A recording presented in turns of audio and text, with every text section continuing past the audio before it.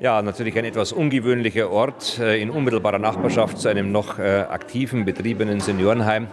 Die Situation ist einfach die, dass wir äh, in München Tag für Tag zwischen 100 und 300 Flüchtlinge ankommen sehen, dass wir die in die Bayern-Kaserne, in die Erstaufnahmeeinrichtung ja nicht mehr verbringen können, sondern dass wir die sozusagen ganz kurz vorbehandelt in Busse setzen und in die Landkreise verschiffen oder auch in andere Regierungsbezirke.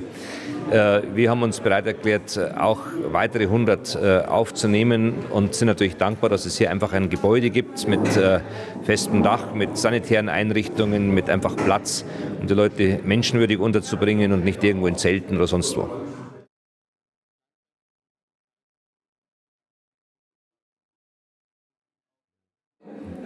Also von meiner Seite aus nicht. Ich hoffe auch bei der Caritas um Verständnis für mein etwas, äh, sage ich mal, nachdrückliches äh, Bitten.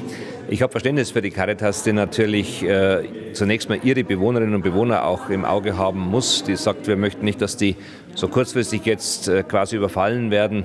Aber ich glaube, äh, man äh, kann das einfach durch räumliche Trennung äh, sehr gut äh, organisieren.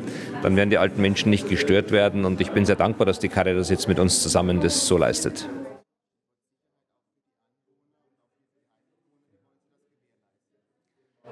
Also zunächst mal äh, ist natürlich an die Trennung zu denken äh, zum jetzt bestehenden aktiven Seniorenwohnheim. Äh, das werden wir einfach durch Sicherheitsmitarbeiter äh, gewährleisten, auch durch bauliche Maßnahmen. Da mache ich mir keine Sorgen. Das wird, sobald die Menschen da sind, stehen. Was die Anwohner angeht, sehe ich eigentlich kein Sicherheits-, keine Gefährdung der Sicherheit. Die Polizei teilt mit, dass nirgendwo, wo es solche Heime gibt, zu irgendwelchen Übergriffen oder ähnlichen Dingen kommt. Auch wir im Landkreis können so etwas nicht berichten. Wir haben keinerlei Auffälligkeiten, was Straftaten angeht oder ähnliches. Also ich glaube, man kann da in ganz guter Nachbarschaft mit den Menschen leben.